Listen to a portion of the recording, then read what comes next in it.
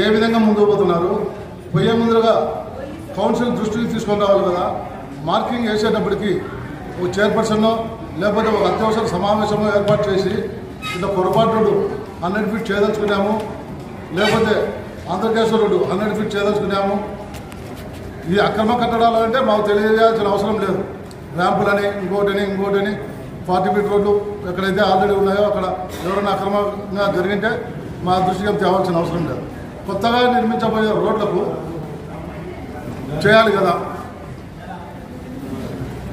ఆ విధంగా మా దృష్టి చేయకుండా వాళ్ళతో వాళ్ళే మీ ఏదో మీరే ఎవరి ఆదేశాల మేరకు వేసినారు మేము డెవలప్మెంట్కు సహకరిస్తాం. సహకరించమని చెప్పి చెప్పడం లే అయితే బట్ ఈ విధంగా ప్రజలను భయప్రాంతం గురి చేస్తున్నారు. ఒక ముందు పోవాలనుకున్నప్పుడు అది పగలగొట్టాలంటారు. పగలగొట్టిన తర్వాత డెవలప్మెంట్ చేయాలి అక్కడ. డెవలప్మెంట్ చేయాలంటే అక్కడ కావాల్సిన నిధులు కావాలా? నిధులు మన మున్సిపాలిటీలో ఉన్నాయా? లేకపోతే ప్రభుత్వం నుంచి వస్తున్నాయని చెప్పి చెప్పినారా? అది ఎవరు చెప్పింటే మీరు చేస్తున్నారు? అనే డీటెయిల్స్ సభకు చెప్పవలసిందిగా కోరుతున్నాను. అడిగినటువంటి ఈ కొరపాటు రోడ్డుకు సంబంధించి రోడ్డు విస్తరణలో భాగంగా ఇదివరకే ఎనభై శాతం పూర్తి చేస్తున్నారు. మిగిలినటువంటి తొమ్మిది కేసులు ఉండి వాళ్ళు కోర్టుకి వెళ్ళడం జరిగింది. కోర్టు తీర్పు మనకు డ్యూ ప్రొసీజర్ ఏదైతే మనకు రూల్స్ ఉన్నాయో అది ఫాలో అవుతూ అది రూల్ విసరణ చేయండి అని మనకు క్లియర్గా కోర్టు నుంచి ఆదేశాలు ఉన్నాయి.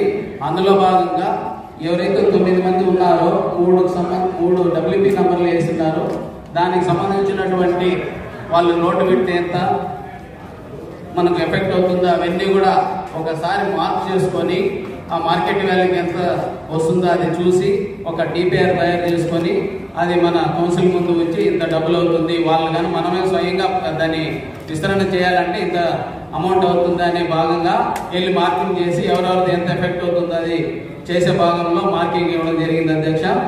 అదేవిధంగా ఇది ఇంకా ప్రాసెస్లోనే ఉంది కాబట్టి పూర్తయిన తర్వాత ఇదే కౌన్సిల్ ముందు ఉంచి మీ ఆమోదం తీసుకొని దానికి సంబంధించినటువంటి ఫైనాన్షియల్ క్రైటీరియా ఏదైతే ఉందో మన ఇంజనీరింగ్ విభాగం ద్వారా పూర్తి చేసి దాన్ని విస్తరణలో భాగంగా చేశారని మనకు సభ్యులు అడిగినటువంటి క్వశ్చన్కి ఆన్సర్ చేస్తున్నాం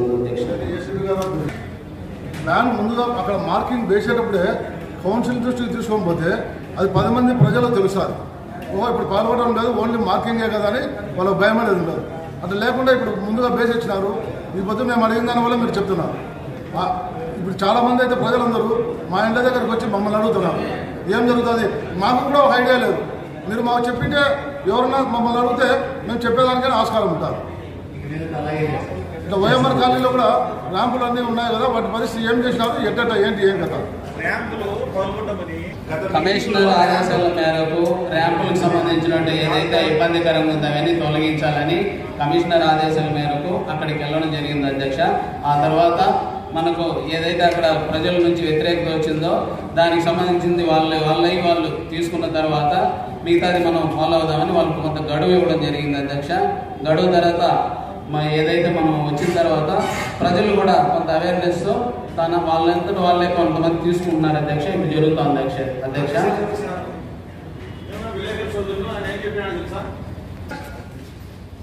ఎవరి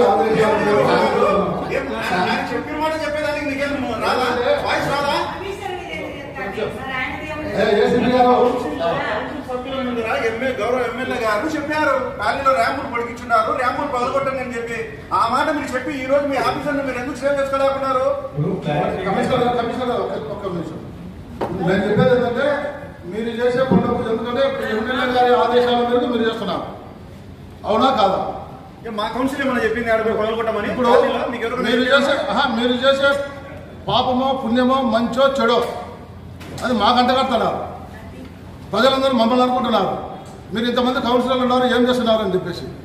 అదే కౌన్సిల్ దృష్టికి తీసుకొని వస్తే కౌన్సిల్లో పెడితే కౌన్సిల్లో చర్చిస్తాం. ఎమ్మెల్యే గారు ఏం చెప్తారు? మేమేం చెప్తాం? మేము అభివృద్ధిలో ఆటంకం పరచడం లేదు. అభివృద్ధిలో ముందుకు పోవాలంటున్నాం. ఎమ్మెల్యే గారికి పూర్తి సహాయ సహకారం అందిస్తాం. అయితే ఒక విషయం ముందుగా కౌన్సిల్లో చర్చించి దాన్ని ముందుకు తీసుకుపోతే బాగుంటుందని చెప్పి మేము కోరుకుంటున్నాం. ఏదైనా కానీ చైర్మన్ దృష్టిలో మీరు తీసుకురండి. ఎందుకంటే ప్రతి కౌన్సిలర్ మీరు చెప్పాలంటే చెప్పలేదు ప్రతి ఒక్క విషయము పాయింట్ టు పాయింట్ మీరు చైర్మన్ గారు దృష్టి తీస్తే చైర్మన్ గారు మా ఆటోలు కొంతమంది ముఖ్యంలో లేకపోతే మా కౌన్సిల్ సభ్యులందరినీ సమావేశపరిచి ఈ విధంగా ఉంది ఇట్లా ఉంది డిస్కస్ చేసేదానికి ఆస్కారం ఉంది. కాబట్టి మీరు ఏదైనా కానీ ఎవరు ఆదేశాల మేరకు చేస్తున్నారు ఏంటి ఏం కథ అనేది క్లియర్ కట్గా ఉండాలి. ఇప్పుడు ఎందుకంటే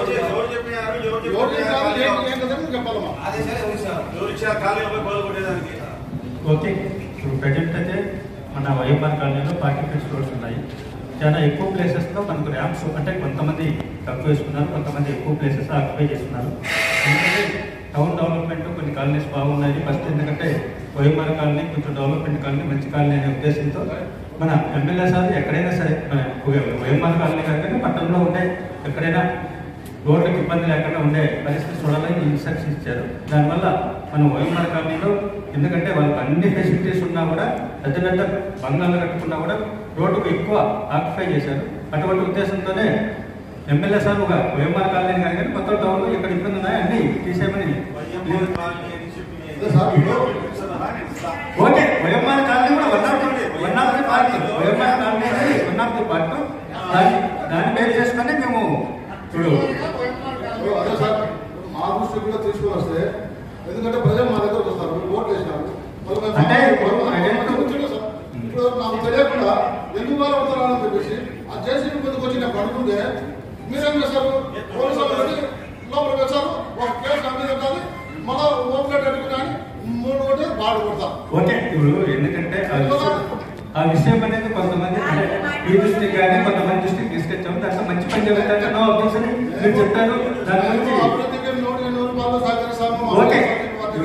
ఎందుకంటే మీ కాలనీలో స్టార్ట్ చేయకముందే నీ నోటీస్ ఇచ్చాము. మన ఎస్ఎస్ఎల్ నోటీస్ కూడా తెచ్చాము. ఇలా ఉంటున్నారంటే మీరు ఎక్కడైనా సరే అనుమతికి అనేది కానీ మనకు అబ్జెక్షన్ లేదని చెప్తారు. మా నోటీసు తెచ్చారు. వేరే పని మీద మీతో మాట్లాడడానికి వచ్చి ఇబ్బంది కాబట్టి తీసేయాలని ఖచ్చితంగా ఎందుకంటే మీకు చేయకపోవడం అనేది దానివల్లనే మాకు ఎమ్మెల్యే గారు ఇన్స్ట్రక్షన్ ఎందుకంటే మా ప్రైమరీ డ్యూటీ కంపల్సరీ రోజుకు ప్రైమరీ డ్యూటీ మేము చేయాల్సిన పని మేము చేయకపోవడం వల్ల ఎమ్మెల్యే గారు మాకు ఇన్స్ట్రక్షన్స్ ఇచ్చారు. అది అది దానివల్ల అది మేము చేయకపోవడం వల్ల ఎమ్మెల్యే గారు ఇన్స్ట్రక్షన్ ఇచ్చారు. పబ్లిక్ ఇబ్బంది లేకుండా రోడ్లో ఉండే మన ర్యాప్స్ అన్ని మున్సిపాలిటీ వాళ్ళు కంపల్సరీ చేయాలి. ఎటువంటి పరిస్థితుల్లో అయినా మనం ఏ కార్యక్రమం చేసినా కూడా మేము చైర్మన్ గారి నోటీస్లో ఇన్ఫర్మేషన్ ఇచ్చి చేయడం జరుగుతుంది. రూల్స్కి అగెన్స్ట్గా ఎటువంటి పనులు చేయడం అనేది జరగదు. ఖచ్చితంగా. ఎందుకంటే మన పొద్దుటూరులో ఎక్కడైనా సరే పబ్లిక్ ఇబ్బందికరంగా ఎక్కడ ఉంటాయో అక్కడ చేయడానికి